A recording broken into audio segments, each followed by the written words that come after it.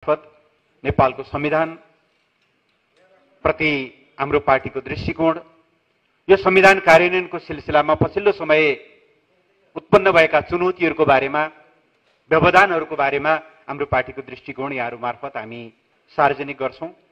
कार्यक्रमको औपचारिक शुभारम्भका लागि म राष्ट्र राष्ट्रिय गान बजाइदिनु हुन साथीहरूलाई हार्दिक अनुरोध गर्छु र यसमा यसको सम्मानका निम्ति सबैलाई आफ्नो ठाउँमा उठ्नको निम्ति पनि म अनुरोध गर्छु।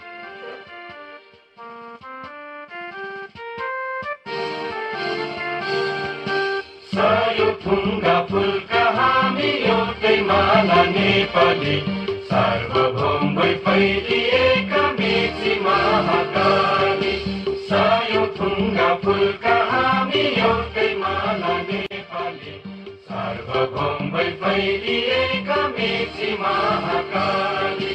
प्रकृतिका कोटि कोटि सम्पदाको आचल वीरहरूका रगतले स्वतन्त्र ज्ञान भूमि शान्ति भूमि तराई पहाड हिमाल अखण्ड यो प्यारो हाम्रो मातृभूमि नेपाल बहुजाति भाषा धर्म संस्कृति अग्रगामी राष्ट्र हाम्रो जय जय यस लगत्तै म यहाँहरूलाई फेरि पनि उठ्नको निम्ति आग्रह गर्छु।